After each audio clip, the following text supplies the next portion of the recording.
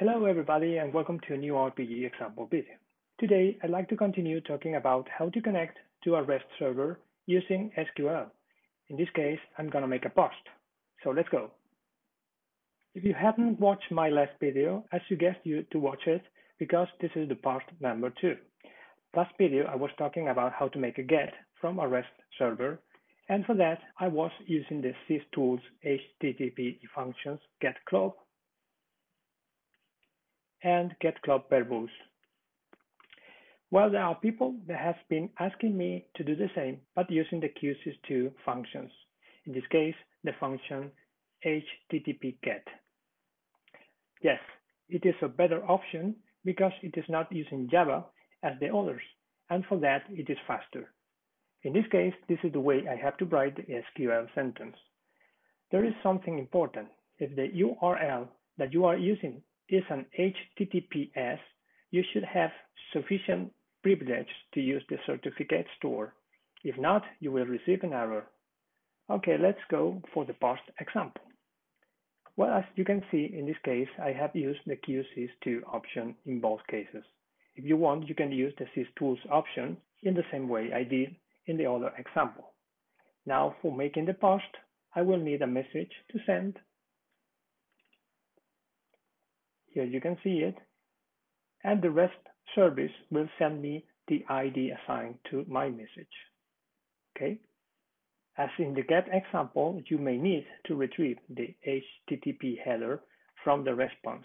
In that case, you will need to use this option, HTTP post verbose.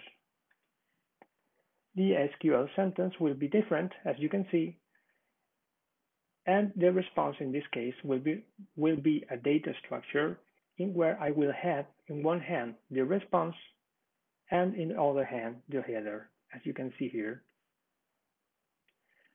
Well, let me uh, compile it.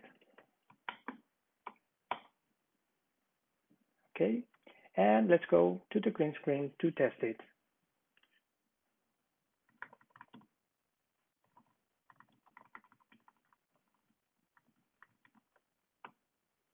Okay, let me stop the program here and let me call it. Okay.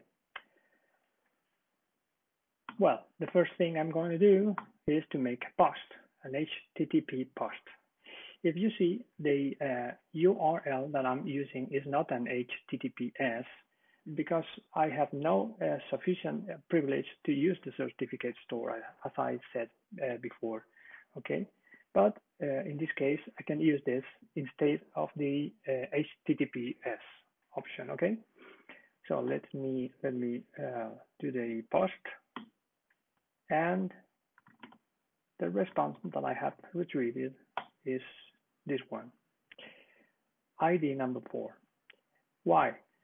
Well, because in my well in the uh, REST server that I am that I'm using, there were three uh, posts and the uh, match the message that I have sent uh, is a new post and the server has has given me the number four. Okay.